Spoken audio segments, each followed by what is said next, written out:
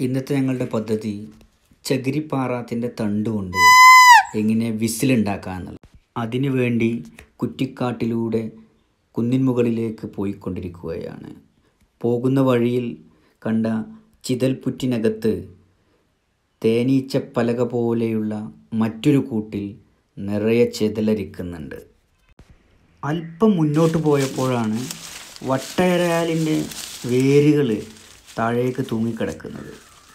ആ വേരിൽ തൂങ്ങി ഊഞ്ഞാലാടുന്നത് എന്ത് മനോഹരമാണെന്നറിയോ?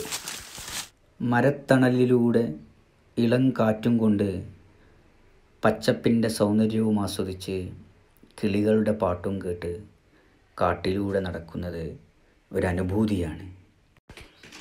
വണ്ണം കുറഞ്ഞ ഒരു വള്ളിയിൽ പിടിച്ച് വലിച്ചപ്പോൾ ഞങ്ങൾക്ക് നീളൻ കയറ് കിട്ടി.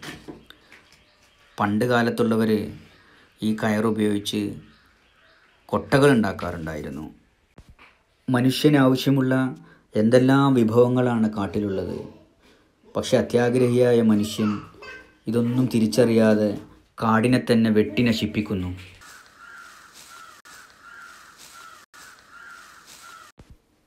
വള്ളിയിലാടിയും കാട്ടുപഴങ്ങൾ പറിച്ചു കഴിച്ചും മതിവരോളം കഴിച്ചതിന് ശേഷം ഞങ്ങളുടെ യഥാർത്ഥ ലക്ഷ്യസ്ഥാനമായ ചകിരിപ്പാറാത്തും തേടി ഞങ്ങൾ യാത്ര തുടർന്നു.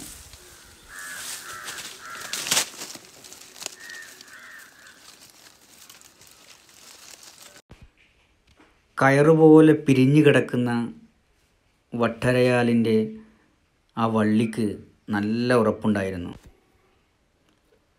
കാട്ടുവള്ളിയുടെ രണ്ടറ്റം കൂട്ടിക്കെട്ടി ബസ്സുണ്ടാക്കി ദുർഘടം പിടിച്ച വഴിയിലൂടെ ഞങ്ങൾ വീണ്ടും മുന്നോട്ട് നീങ്ങി.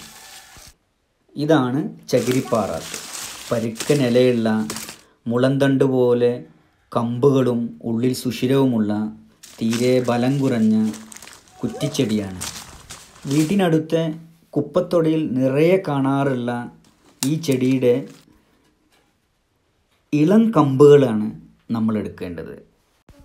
എന്നിട്ട് ഒരു വശം ധോരമുള്ള രീതിയിലും മറ്റു വശം ധോരമില്ലാത്ത രീതിയിലും മുറിച്ചെടുക്കണം. എന്നിട്ട് ബ്ലൈഡ് ഉപയോഗിച്ച് കുഴലിന്റെ അടഞ്ഞ ഭാഗം ഒരു വലിയ ഭാഗവും ഒരു ചെറിയ ഭാഗവുമായിട്ട് ഒരു ഇഞ്ചോളം താഴേക്ക് കീറിയെടുക്കണം.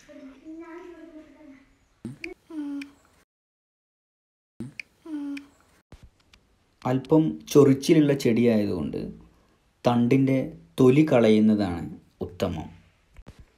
രണ്ട് പാളികളായി നമ്മൾ കീറിയെടുക്കുമ്പോഴുണ്ടാകുന്ന വിടവിലൂടെ വായു സഞ്ചരിക്കുമ്പോഴാണ് ഈ വിസിലിന് ശബ്ദമുണ്ടാകുന്നത്. ഈ വിടവിന്റെ നീളവും അകലവും ക്രമീകരിക്കുന്നതിനനുസരിച്ച് വിസിലിന്റെ ശബ്ദത്തിലും മാറ്റമുണ്ടാകും.